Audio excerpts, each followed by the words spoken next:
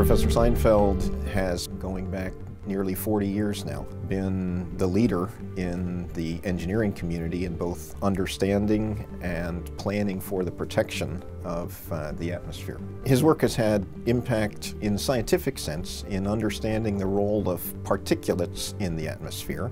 John has helped us understand how they form. He's helped us understand their impact on climate and on air pollution. It's a great honor. It's, it's, the, it's, it's the pinnacle of recognition in the field of environmental science.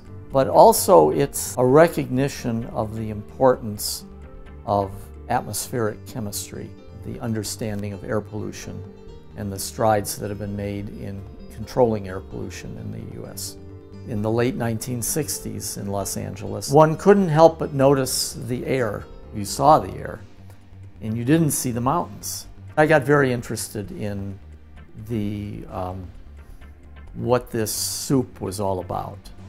In order to understand fully what's going on in the atmosphere, and also to predict how the atmosphere might respond if you controlled automobiles or other sources that lead to air pollution, you need to be able to simulate the atmosphere and all its dynamics on the computer.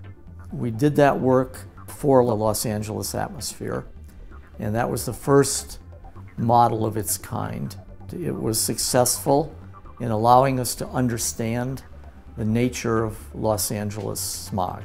That eventually led to the Federal Clean Air Act specifying that these computer models are to be used by all the states in planning uh, air pollution control.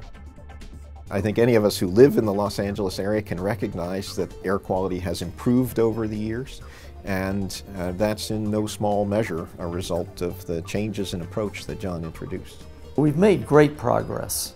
The more we understand about what's in the air, the more the opportunity arises to meet that challenge, it can truly be a win-win situation, whereas the, the health of the population is improved, the industrial fabric of the country is improved by new businesses, new companies that rise to meet these challenges.